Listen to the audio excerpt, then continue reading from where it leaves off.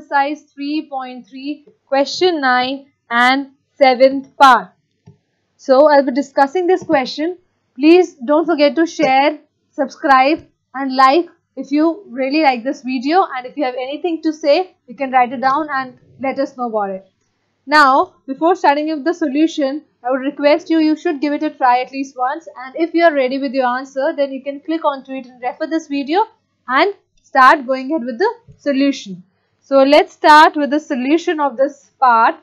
It says 2xy upon x plus y equals to 3 by 2 and the second equation is xy upon 2x minus y equals to minus 3 by 10 wherein x plus y is not equals to 0 also 2x minus y is not equals to 0.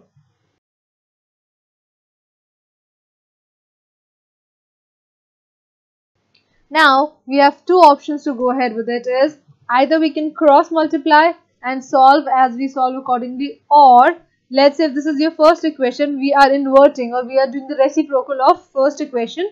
So after doing the reciprocal we'll be getting x plus y upon 2xy equals to 2 by 3 why did i do?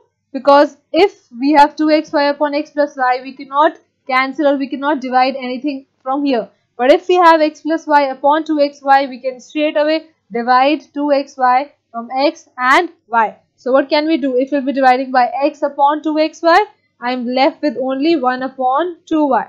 And if we have y upon 2xy, that will be 1 upon 2x because we can cancel y and x out from here.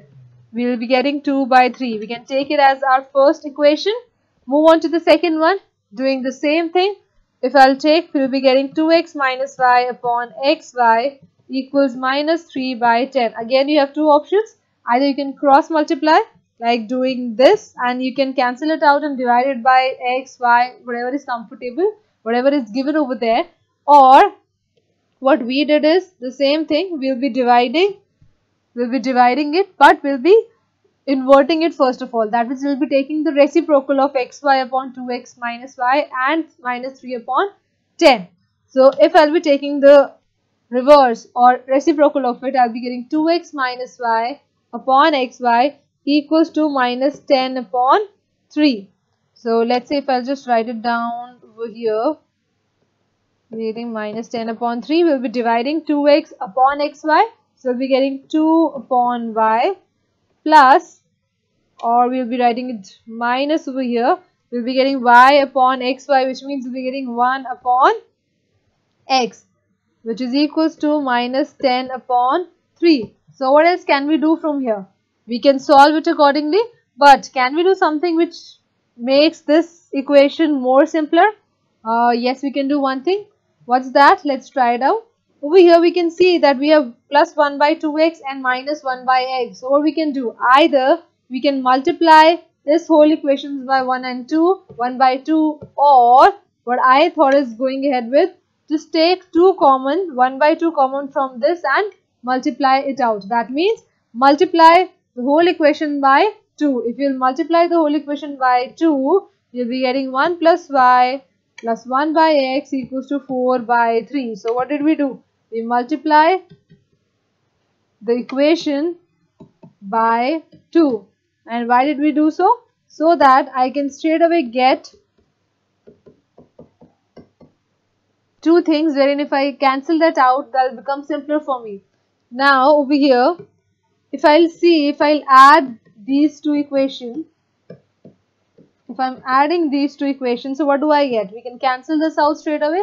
That's why I did 1 by 2 I multiplied it equation 1 by 2 or you can multiply it by 1 by 2 to second equation. So you can do any of it. So it's just how do you how do you use any of the method be it cross multiplication substitution or elimination method. So I specifically go ahead with the elimination method. So maybe we can work on to that. Now we have 1 by 1 by y plus 2 by y. So we'll write it like this. Equals 4 by 3 minus 10 by 3 which means 1 plus 2 which is 3 by y equals 4 minus 10 which is minus 6 by 3 which is minus 2. So we'll be getting 3 by y equals minus 2 which means we'll be getting minus 3 by 2 as y. So this is our first value which we got. So y equals minus 3 by 2. Now putting the value of y in equation 1 we get 1 by y which is minus 3 by 2 plus 1 by x equals 4 by 3. We have we put it the value in this equation. Now which implies that will be reciprocal of it so we'll be getting minus 2 by 3 plus 1 by x equals 4 by 3 which means we'll be getting 1 by x as 4 by 3 plus 2 by 3 which is 6 by 3 which is 2. So I guess we'll be getting uh, x as 2 isn't it? Good guess that will be 1 by x which we got as 2. So x will be 1 by 2 since 1 by x is 2. So if invert if we'll do inversion of it or we'll do the reciprocal of it 1 by x will become x and 2 by 1 will become 1 by 2. So x 1 by 2 and y minus 3 by 2 this is the unique solution of this equation pair of equations which we have. So x is equals to 1 by 2 and y is equals to minus 3 by 2. I hope you understood this question. Take care. We'll be coming up with another questions after this. Thank you.